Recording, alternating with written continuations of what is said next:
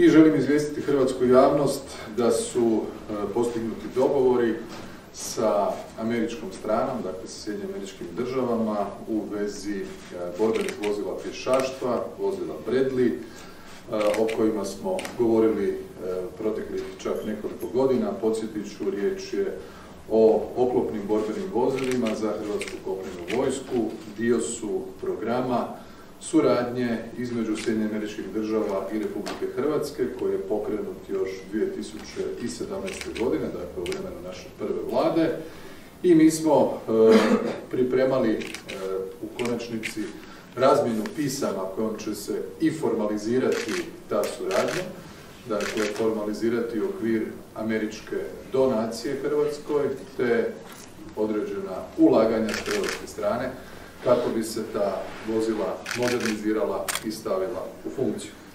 Podsjetit ću da je sukladno e, ciljevima e, i našim preuzetim obavezama kao jedne od saveznica u Sjevernoatlantskom savezu, dakle NATO, e, ambicija Hrvatske da do 2026. ima srednju pješačku brigadu.